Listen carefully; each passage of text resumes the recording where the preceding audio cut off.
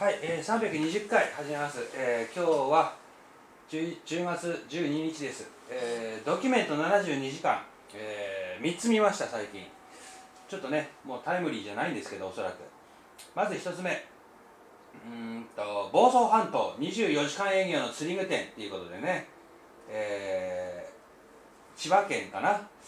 の房総半島にある釣り具店にカメラを置きましたよと。72時間。これね私釣りしないしできないというかねあのまあ結局好きじゃないのかな分かんないですけどそこまでしてそこまでしてっていうかな好きだったらもうやってるんでしょうけどね。あのまあ面倒くさいのかな。うん。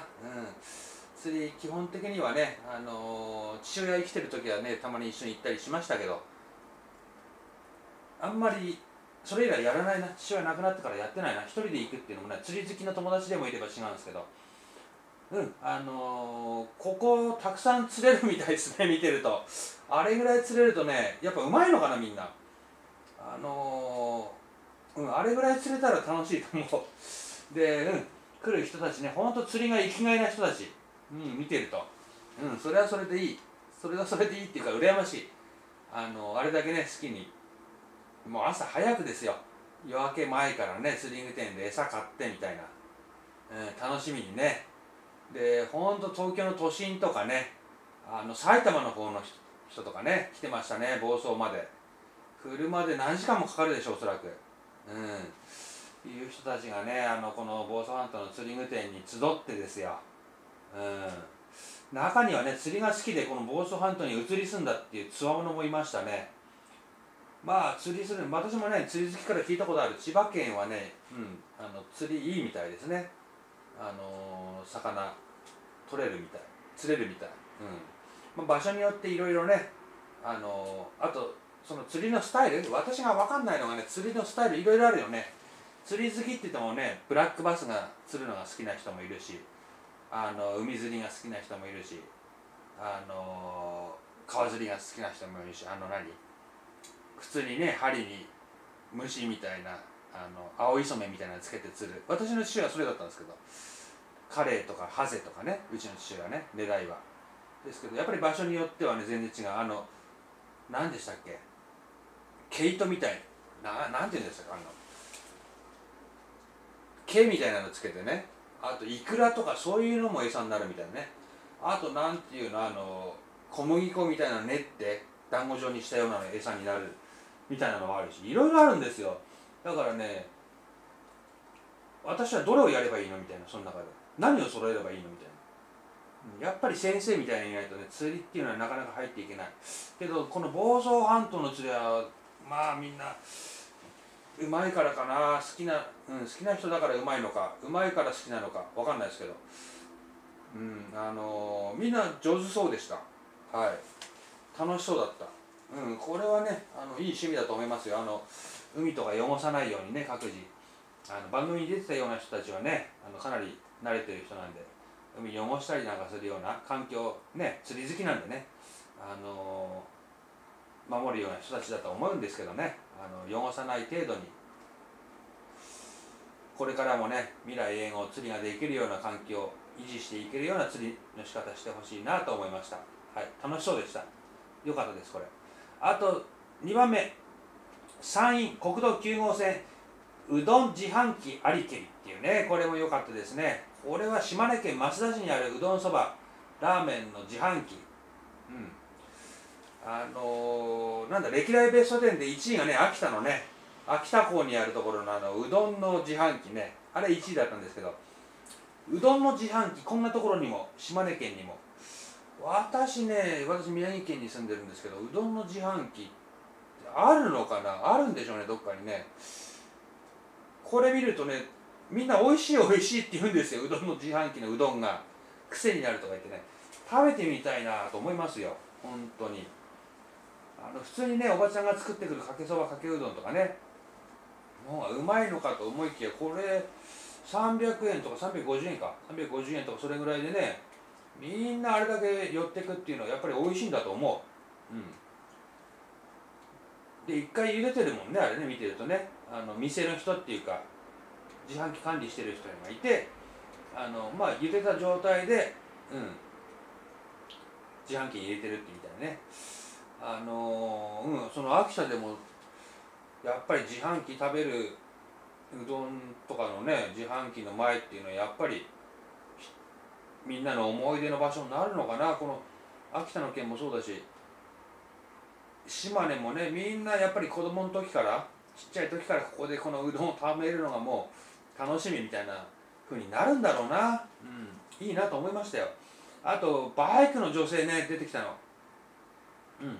美人さんでしたね。よかったですね。あのー、うん。それだけっていうかね。やっぱり男だから美人とかそういうの見ちゃうんだな。うん。古い自販機だからね美味しいみたいなこと言ってた人もいますね。うん。その年季入ってくるといいまた味が出るっていうか味には変わりないのかもわかんないですけど。なんかねうん。あの古い自販機であればあるほど味があるみたいなね感じになるんでしょうねきっと。はい。2番目が山陰国道9号線うどん自販機ありけり。ね。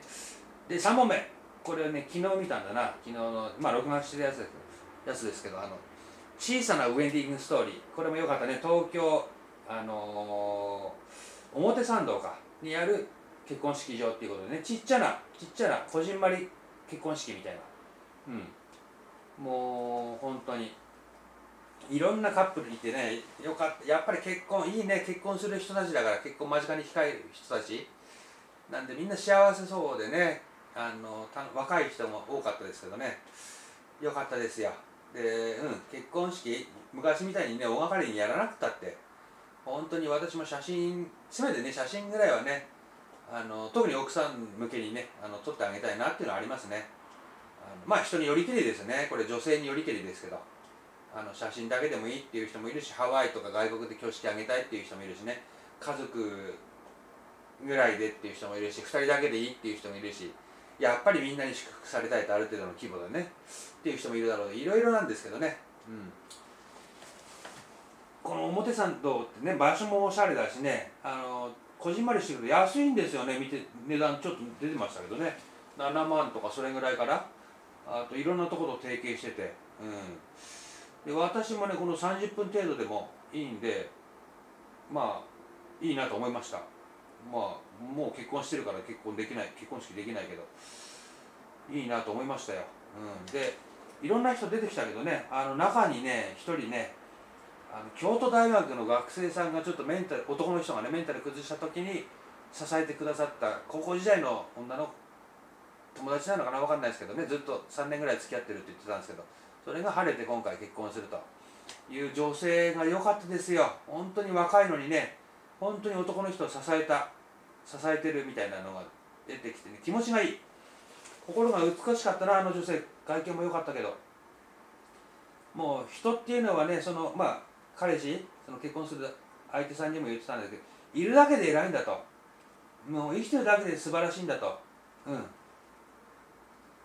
あのー、特に働かなくたって何しなくたっていいんだと、うん、生きてさえすればいいんだといるだけですごいことなんだよ人間はみたいなことをねあの若さで言っちゃうところがねいやできてるというか素晴らしいっていうかねそれだけその人もねいろいろ考えていろいろ経験あってあの若さにしてなんでしょうけどびっくりしましたよ。私も本当に同じ考え。うん。もう本当にねそれ調子崩す時だってあるさ。ね。そういう時ああいう彼女とか支えてくれたらそれは旦那さんもねあの男の人もそりゃあねうん本当に幸せだと思う。それだけで。あのー、ねメンタル崩して彼を支え続けね。あのー、結婚式挙げるまでになってねいい女性でしたよ。